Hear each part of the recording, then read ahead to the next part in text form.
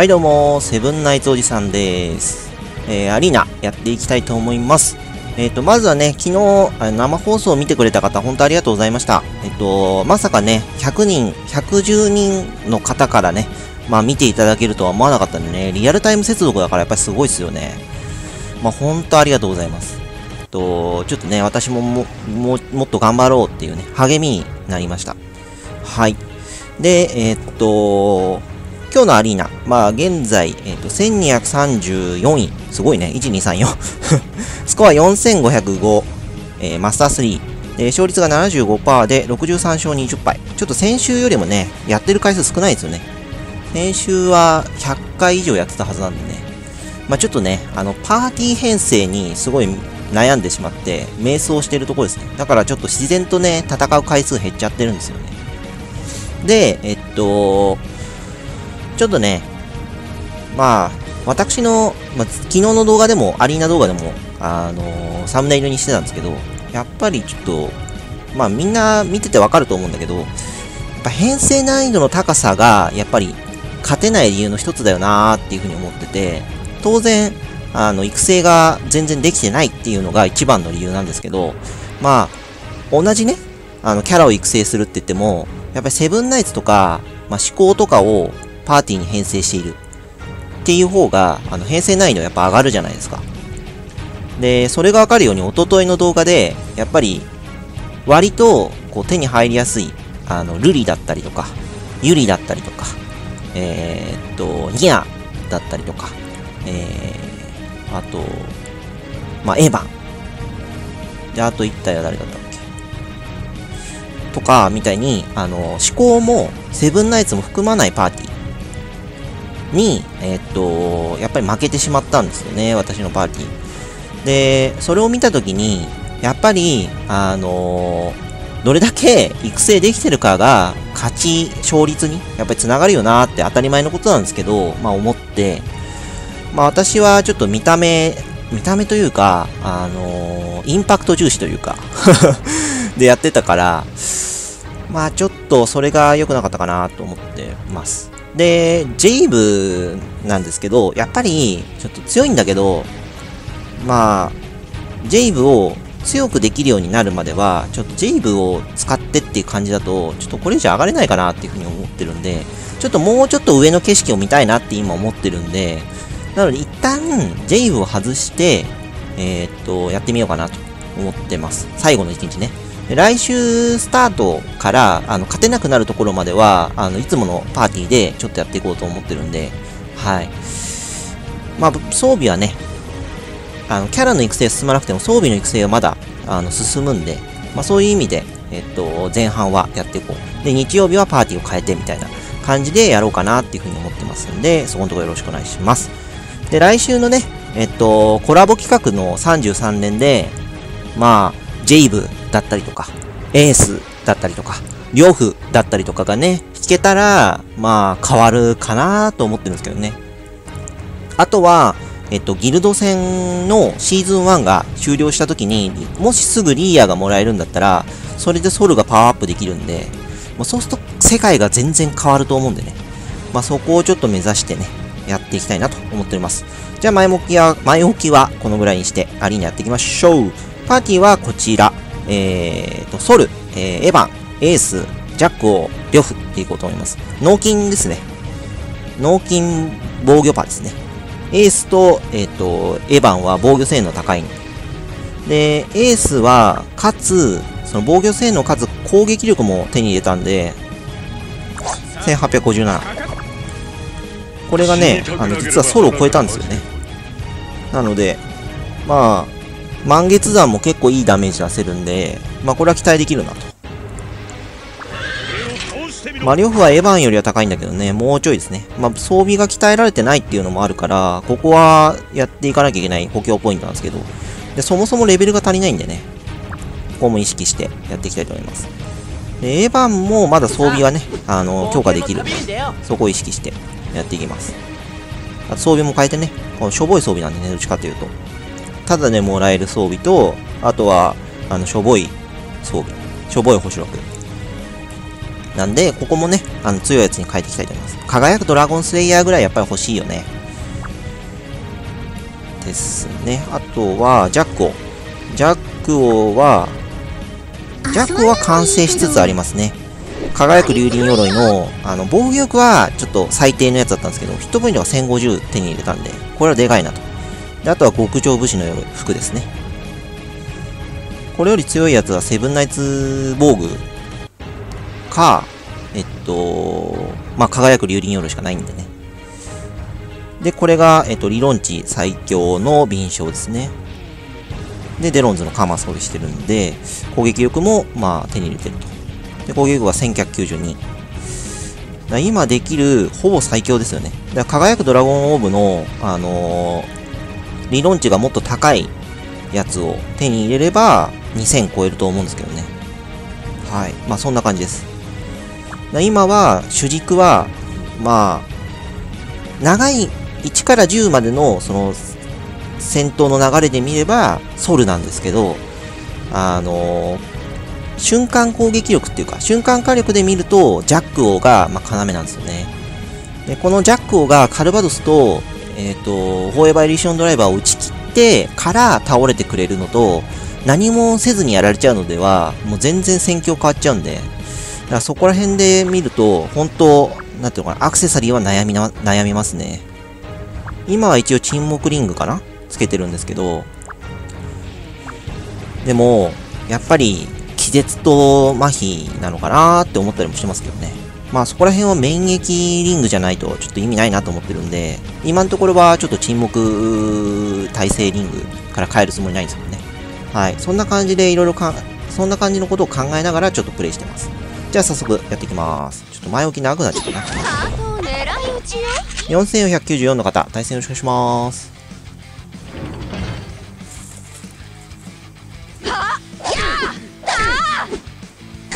半分持ってかれた。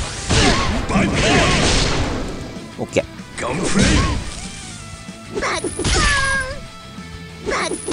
カルバドス来いそうか。まあそうだよね。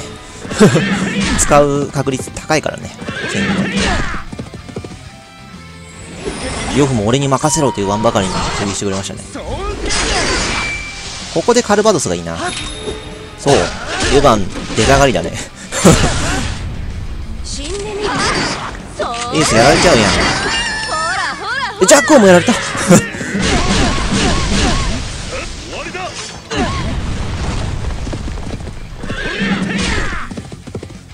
今日は呂布が活躍してきた。満開が倒れる前でよかったね。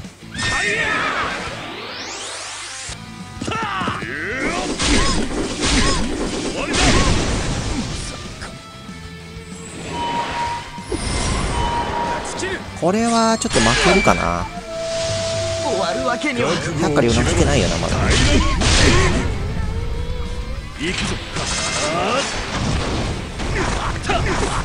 れでもうよく耐えられないよね。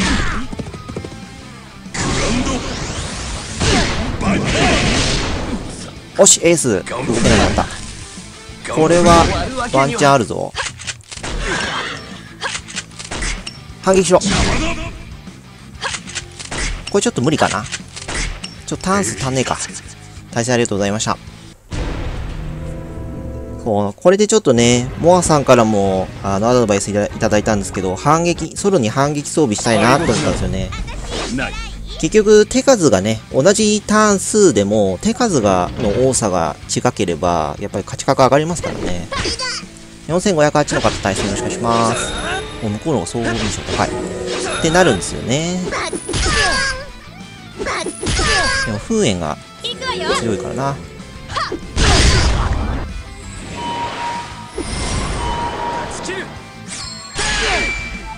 1000当たった。すげえ。覚悟を決めろガンフレイくぞああ今死んだか？終わるわけにはいやーまあホーやっぱ怖えな。エスパーダいないと結構こうなるんだよな。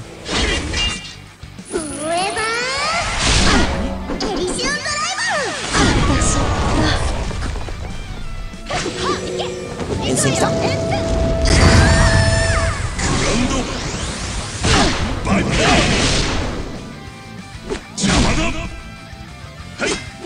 戻ってきて。私があるわけにはあしまあいいでしょう倒れ。ちゃった反撃しろ反撃しろ反撃これ。で一回落とせるか落とせない反撃反撃オッケー殴れ。もう一発あー足んなかったさっきと同じパターン君ならやってくれると次のクエストが進まなくなるから報まあちょ酬はこまめに3試合目ですね。4511の方対戦よろしくお願いします。っていう感じでね4500台の方でも割と編成難易度低めのパーティーしてしてる人も多いんですよね。エースとかも入れてないっていう人エースがいなければユリを入れればいいみたいになってる雰囲気もありますよね。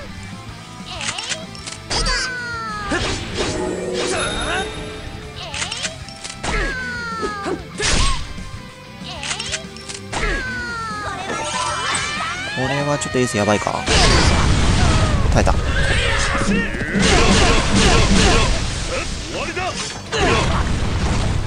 免疫を剥がせるかこれで死にはしないだろう。そうか。呂布君が動くか。や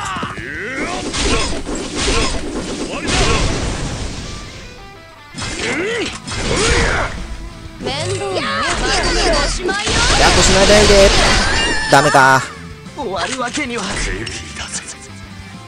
れは厳しいかな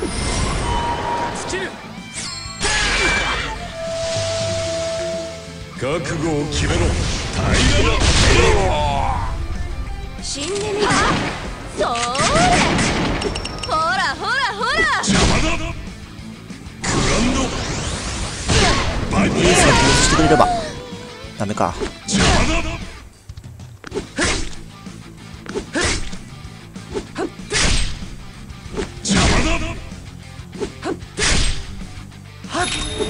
っと無理かな。またおん同じパターンだね。やっぱソルがまだまだ弱いせいだね。これは。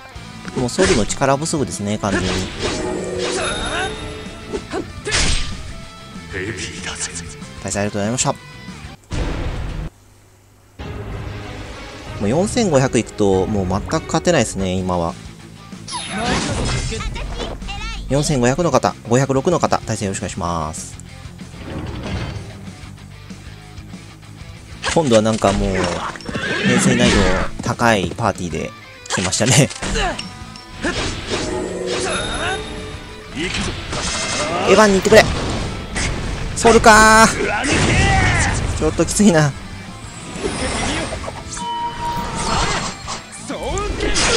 だってまだね百花繚乱使われてないからね。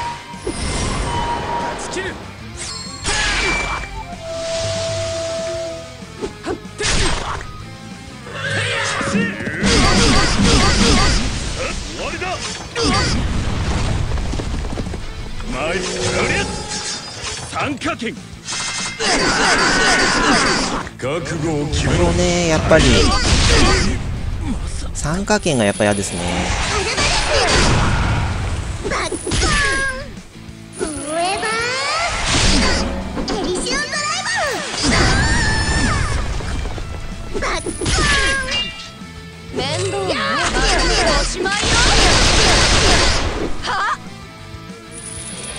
攻撃力奪った後だから結構当たったか。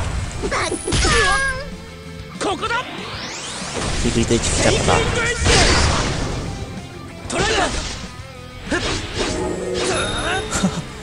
俺は俺を守る。ほらほらほら。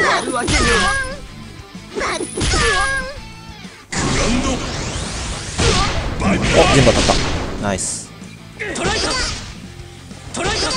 でもね、誰もスキル使えない。全部ミス。これはちょっとピンチだな。まあ、いつものパティーンになる。なる当たった。治った。反撃しろダメー ダメっすね、やっぱりこれは。これ先輩？まさかの。8455の方、対戦よろしくお願いします。あー、時間切り替わったわ。4500の人には、ちょっと一生もできなかったね。編成難易度が高い。人もい。るけど、低い人もね、やっぱ完成してるパーティーには、ちょっとなかなか勝てないですね。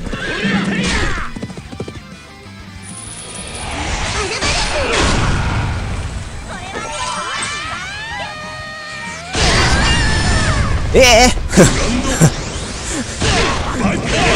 そ強えガンフレイガンフレイガンフレイ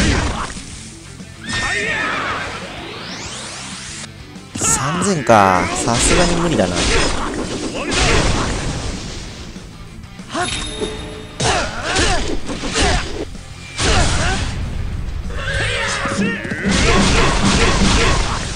わりだ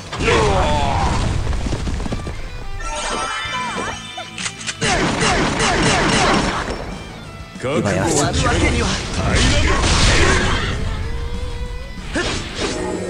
まあこれこれは勝てるかなギリエヴァンだけだし。さすがにね、リョフと、ね、ソルでエヴァン1体に負けるなんて、ちょっと考えたくないですよ。ガンフレイヤーガンフレイヤー終わるわけには対戦ありがとうございました。だからね、やっぱり4400から4500の間が、私の今の戦えるフィールドですね。これを4600に移したいんですよ。だそのためには、ちょっとやっぱり、キャラをね、強化していく必要があるんでね。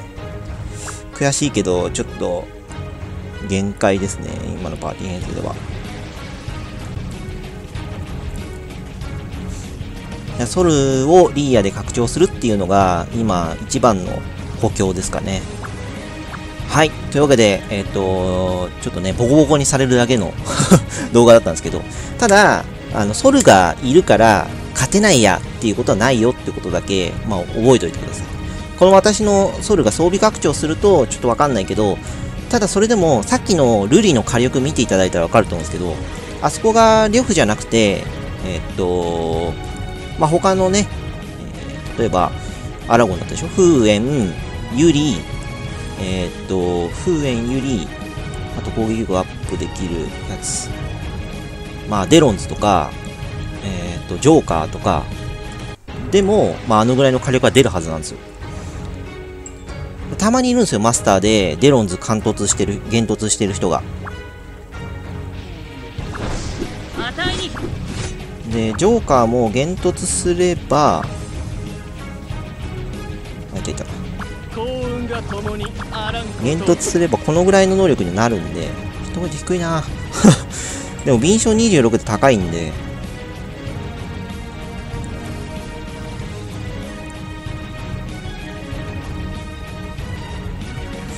まあ割といいとは思うんですけどね。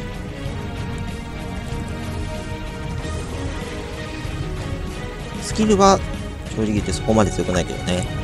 はい。というわけで、えーご視聴どうもありがとうございました。えー次回の動画でまたお会いしましょう。